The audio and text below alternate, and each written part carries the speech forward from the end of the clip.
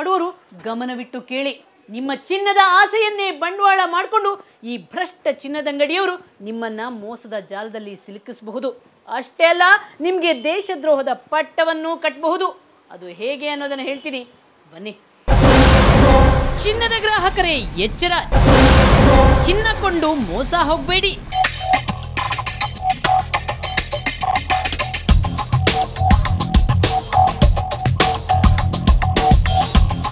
S, ಈ ಎಚ್ಚರಿಕೆನ ಕೊಡ್ಲೇಬೇಕು.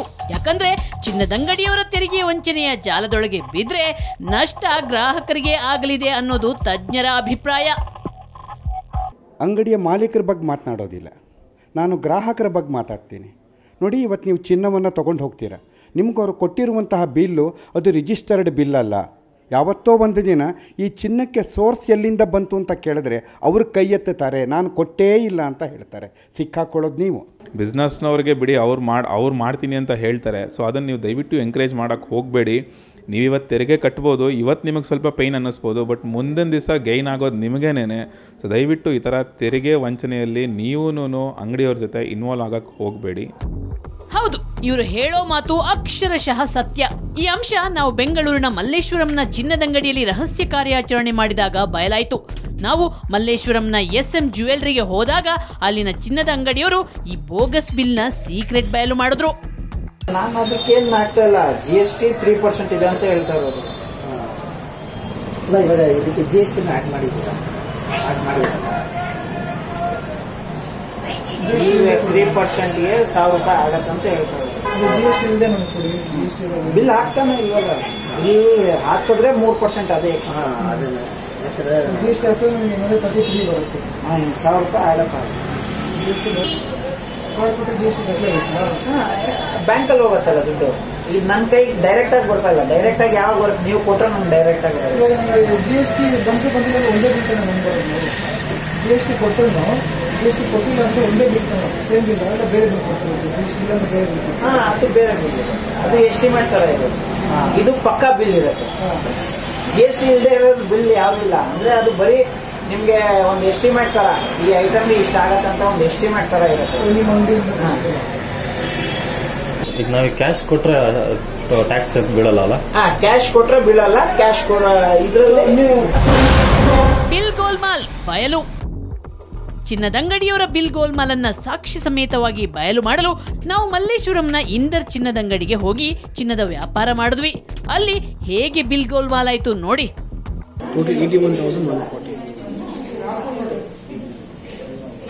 Total ಇಪ್ಪತ್ನಾಲ್ಕು gram ಆಯ್ತಾ.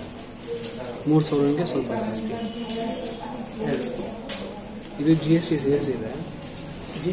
Three percent G S T C S C two three percent ಅಂದರೆ two thousand four thirty ಇದ್ದಾರೆ ಇದೆಲ್ಲ ಜಿ ಎಸ್ ಟಿ ನಾನು ರೀಸನಲ್ ಹಾಕಿದ್ದೀನಿ ಅದು ಜಿ ಎಸ್ ಟಿ ನಿಮ್ಗೆ ಗೊತ್ತಿಲ್ಲ ಅದಕ್ಕೆ G S T C S ಹಾಕಿದ್ರೆ ಅದಕ್ಕೆ ರೇಟ್ ಜಾಸ್ತಿ ಬರುತ್ತೆ. ಚೀಟಿ ವರ್ಕ್ ಕೊಡಲಿಲ್ಲ ಸಾಕು two thousand four hundred rupees seventy eight thousand ನಿಮ್ಗೆ ಬಿಲ್ ಕೊಡೋಣ ಚೀಟಿ ಬಸ್ ಕೊಡ್ತೀವಿ. ಚೀಟಿ ಬಿಲ್ ಕೊಡ್ತೀವಿ. ಕ್ಯಾಶ್ ಕೊಡ್ತೀರಲ್ಲ ಕಾರ್ಡ್ ಕಾರ್ಡ್ ಅಂದರೆ ಕಂಪಲ್ಸರಿ ಆಗುತ್ತೆ ಜಿ ಎಸ್ ಟಿ ವಿಡ್ರಾ ಮಾಡ್ಕೊಳ್ಳಿ ಕಾರ್ಡ್ ಸ್ವೈಪ್ ಮಾಡಿದ್ರೆ ಕಂಪಲ್ಸರಿ ಜಿ ಎಸ್ ಟಿ ಆಗುತ್ತೆ.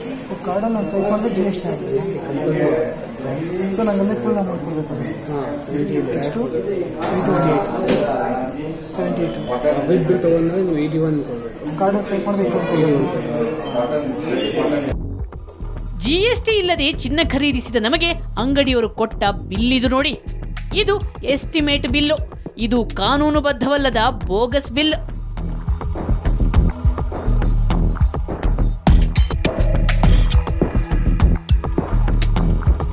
ಅದೇ ಇಂದರಂಗಡಿಗೆ ನಾವು ಮತ್ತೆ ಹೋಗಿ ವ್ಯಾಪಾರ ಮಾಡಿದೆವು. ಒಂದು ಉಂಗುರ ಖರೀದಿಸಿ ಜಿಎಸ್ಟಿ ಸಹಿತ ಬಿಲ್ ಪಡೆದೆವು.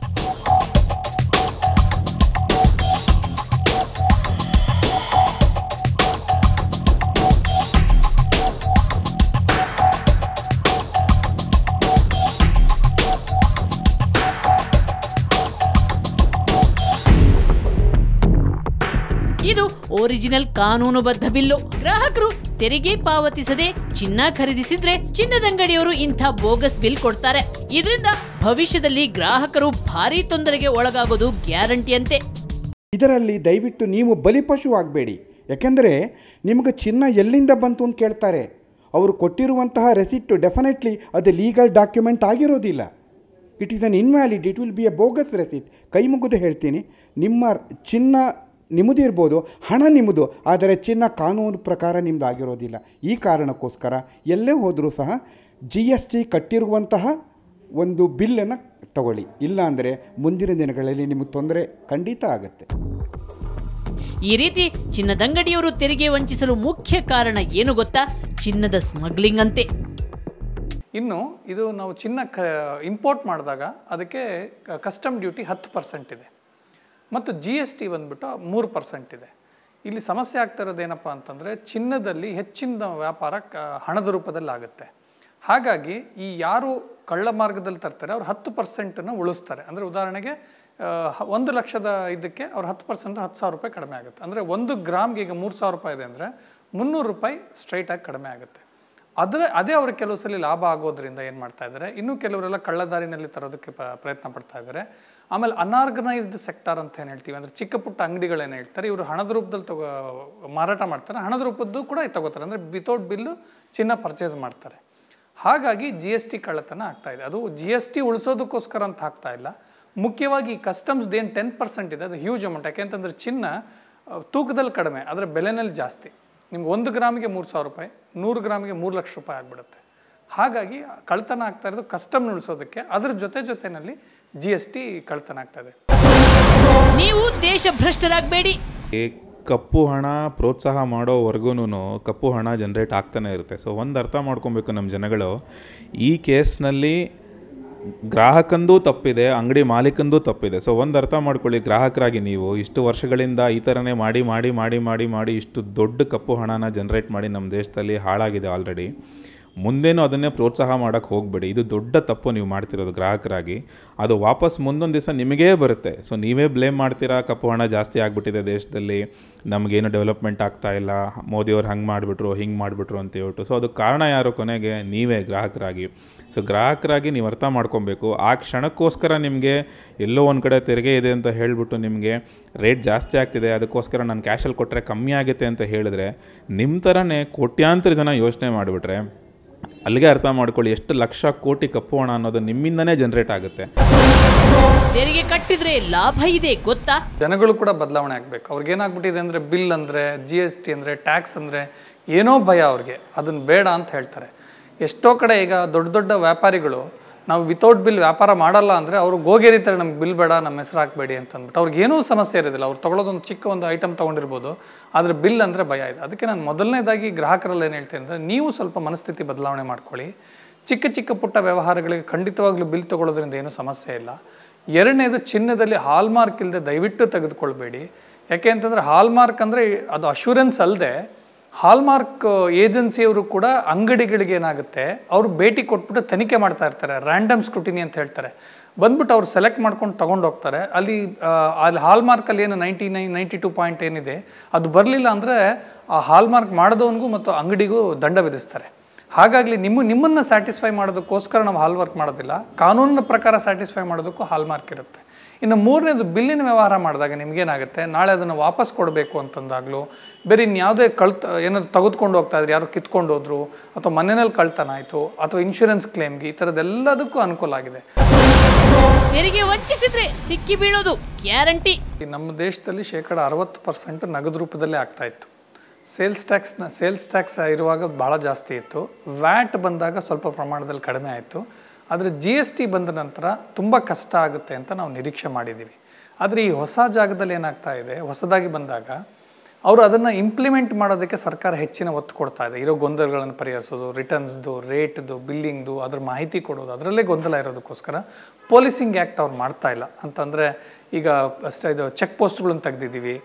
ಈ ಸುಗಮ್ ಅಂತ ಏನೋ ತೆಗೆದು ತೆಗೆದುಕೊಂಡು ಬಂದಿದ್ದೀವಿ. ಅವ್ರನ್ನ ಇವರು ಗೌರವಿಸ್ತಾ ಇದ್ದಾರೆ. ವರ್ತಕರನ್ನ ಅವ್ರು ಮೋಸ ಮಾಡೋದಿಲ್ಲ. ಜಿ ಎಸ್ ಟಿನಲ್ಲಿ ತೊಂದರೆ ಆಗೋದಿಲ್ಲ ಅನ್ನೋ ಉದ್ದೇಶದಲ್ಲಿ ಆದರೆ ನಮ್ಮ ಜನಗಳು ಮುಂಚೆಯಿಂದ ನಡೆದುಕೊಂಡು ಬಂದಂಥದ್ದು ಕ್ಯಾಶ್ ಬಿಸ್ನೆಸ್ ಮಾಡಿರೋದು. ಹಾಗಾಗಿ ಈಗ ಸ್ವಲ್ಪ ಇನಿಷಿಯಲ್ ಡೇಸಲ್ಲಿ ಅವ್ರು ಮಾಡ್ತಾ ಇದ್ದಾರೆ. ಆದರೆ ಅವ್ರು ಖಂಡಿತವಾಗೂ ಸಿಕ್ಕಿಬೀಳ್ತಾರೆ ಯಾಕೆ ಅಂತಂದರೆ ಅವ್ರು ಅಂದ್ಕೊಂಡಿರ್ಬೋದು ನಾನು ಪರ್ಚೇಸ್ನ ಅಕೌಂಟ್ ಮಾಡಲಿಲ್ಲ ಅಂದರೆ ನಾನು ಸಿಕ್ಕಿಬಿಡಲ್ಲ ಅಂತ ಅಂದ್ಬಿಟ್ಟು ಆದರೆ ಅವ್ರಿಗೆ ಕಷ್ಟ, ಅವರ ಅಕೌಂಟಲ್ಲಿ ಟ್ರಾನ್ಸ್ಪೋರ್ಟೇಷನ್ ಅಕೌಂಟ್ ಆಗಿರುತ್ತೆ ಲೇಬರ್ ಆ್ಯಂಡ್ ವೇಜಸ್ ಅಕೌಂಟ್ ಆಗಿರುತ್ತೆ ಕರೆಂಟ್ ಬಿಲ್ಗೆ ಒಂದು ಯಾವುದೋ ಮ್ಯಾನುಫ್ಯಾಕ್ಚರಿಂಗ್ ಇದ್ದರೆ ಕರೆಂಟ್ ಬಿಲ್ ಕೊಟ್ಟಿರ್ತಾರೆ. ಈಗ ಜಿ ಎಸ್ ಟಿನಲ್ಲಿ ನಾವು ಸಿಕ್ಕಿ ಬೀಳಲ್ಲ ಅನ್ನೋ ಮನೆ ಭಾವನೆಯಲ್ಲಿ ಅವರು ತಪ್ಪು ಮಾಡುವಂಥ ಕೆಲವು, ಕೆಲವೇ ಕೆಲವು ಜನ ತಪ್ಪು ಮಾಡ್ತಾ ಇದ್ದಾರೆ. ಆದರೆ ಅವ್ರಿಗೆಲ್ಲ ನಾನು ಎಚ್ಚರಿಕೆ ಕೊಡೋದಕ್ಕೆ ಇಷ್ಟಪಡ್ತೀನಿ. ನೀವು ಹಿಂದೆ ಫೇಸ್ ಮಾಡಿದಂಥ ವ್ಯಾಟ್ ಅಥವಾ ಸೇಲ್ಸ್ ಟ್ಯಾಕ್ಸ್ ಅಧಿಕಾರಿಗಳಲ್ಲ ಈ ಜಿ ಎಸ್ ಟಿನಲ್ಲಿ ನೀವು ಮಾಡಿದಂಥ ಟ್ರಾನ್ಸ್ಪೋರ್ಟೇಷನ್ ಅವೆಲ್ಲ ಕಡೆಯಿಂದನೂ ನಿಮ್ಮನ್ನು ಪತ್ತೆ ಹಚ್ಚುವಂಥ ಕಾರ್ಯಕ್ರಮ ಮಾಡ್ತಾರೆ.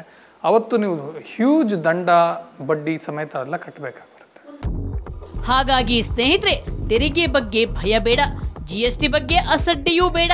ಅಸಡ್ಡೆ ಮಾಡಿದ್ರೆ ಮುಂದೊಂದು ದಿನ ನೀವೇ ಅಪಾಯಕ್ಕೆ ಸಿಲುಕಿಕೊಳ್ತೀರಾ?